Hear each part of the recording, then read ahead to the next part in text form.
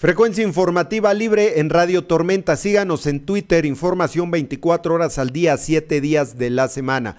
En Twitter usted nos encuentra en arroba Juan José Rosales. Así es, ¿eh? síganos, arroba Juan José Rosales. Y en Facebook nos puede ubicar como Frecuencia Informativa Libre.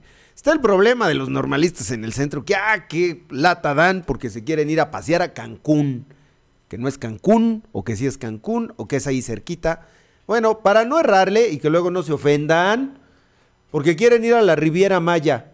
Así ya no este, le fallamos, ¿no? Bueno, está grave el problema. El día de hoy, este jueves 21 de marzo, el secretario de gobierno en la entidad, Jesús Reina García, habló, dio así como que un avance de cómo van las negociaciones y que están platicando con ellos y que se están quedando solos y que quién sabe qué, ¿no? Bueno, vamos a escuchar lo que dijo Jesús Reina de este problema, que no debería de ser problema, que no deberían de dar problemas, que deberían de ponerse a estudiar y a prepararse, pero no, bueno, ya sabe usted también que aquí decir normalista en Michoacán eh, es sinónimo de vivir del borlote.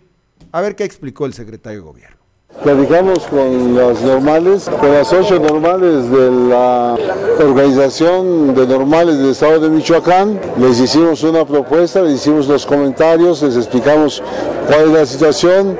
Les dijimos que tenemos, que conocemos el problema, que existe la intención de apoyar y de buscarle una solución. Y les propusimos que nos viéramos una semana después, dos semanas después de terminadas vacaciones, para que nos dé la oportunidad de tomar contacto con el gobierno federal y ver de qué manera podemos plantear una solución a este problema.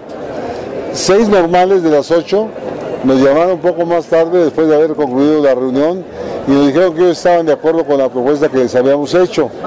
Solo dos normales, la de Cherán y la de Tiripetío, no estuvieron de acuerdo con esta propuesta y ellos siguen en su actitud y en sus actividades, como las que ya conocen ustedes, de estar haciendo acciones de presión para algo que definitivamente no van a conseguir.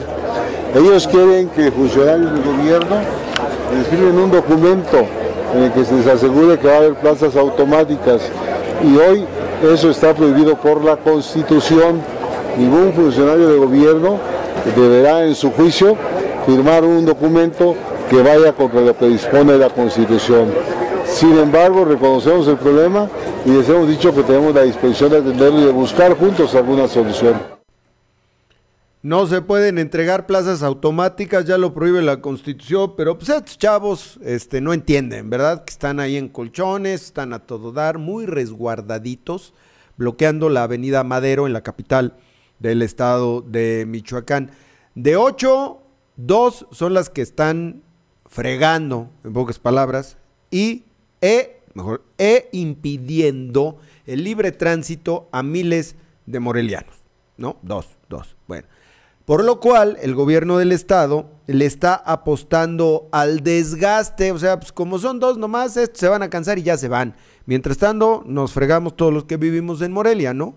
Eso fue lo que explicó el secretario de gobierno, que aquí lo vamos a escuchar. Además, ni asegura ni descarta un posible desalojo.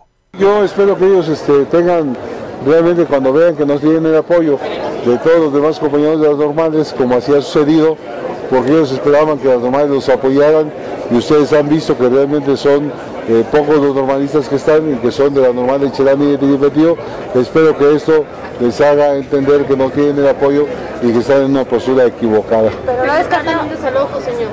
Nunca lo descartamos ni lo descartamos.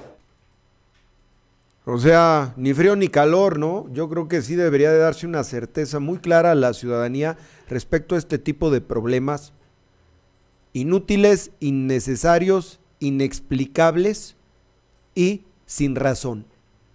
No tienen razón de estar ahí, dando al traste con la vida de miles de morelianas y morelianos. Insisto. Frecuencia informativa libre a través de Radio Tormenta 1600 de amplitud modulada.